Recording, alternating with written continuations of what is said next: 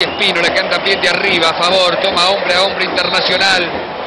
Queda flotando Tyson fuera del área contra Reasco, vendrá el centro de Lara, que quiere el primero centro de Lara, arriba Espínola, ¡Gol!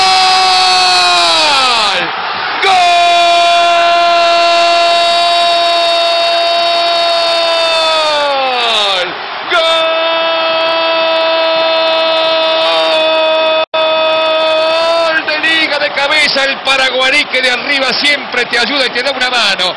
Liga 1, Internacional 0. ¿Quién lo marcaba Espínola? Nadie. Liga 1, Inter 0. Ahora la pelota pasó. Acá sale, hace como un rulo Espínola. La pelota pasó, le erra. Aquí, aquí vamos a ver cómo hace el rulo. Uno que se va para allá, otro que viene para acá. Se anticipa, va a buscar la pelota, le erran. La pelota que pasa el arquero no estaba preparado. Por eso los reflejos no le dan. No pensó que la pelota se iba a prolongar. Y después cuando estiró la mano izquierda pasó. Can para todo el continente americano. Se viene Ambrosi. Ahora sí lo vieron Ambrosi. Se frena Paul. El centro que vino para Bieler. Sube Bieler. ¡Gol! ¡Taca! ¡Gol!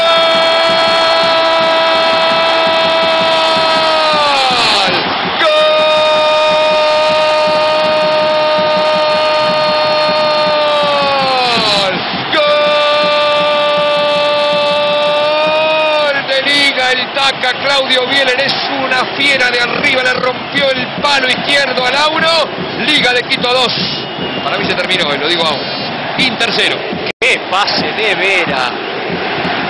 Pero anteriormente desahogó la jugada nuevamente Urrutia sobre la izquierda. Acá se frena, se perfila, ve la posibilidad de sacar un centro con mejores perspectivas. No taparon ni el centro de Vera ni el cabezazo de Bieler, que la puso encima en el lugar más difícil para el arquero, en un costado, muy cerca del palo. En racha Bieler. Dos goles de cabeza, Liga. Ha conquistado hasta ahora en esta noche de festejo en Quito, en el Estadio Casablanca.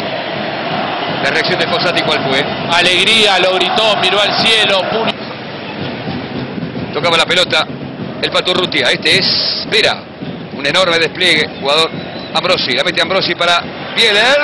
El remate. ¡Gol! Vera. ¡Gol!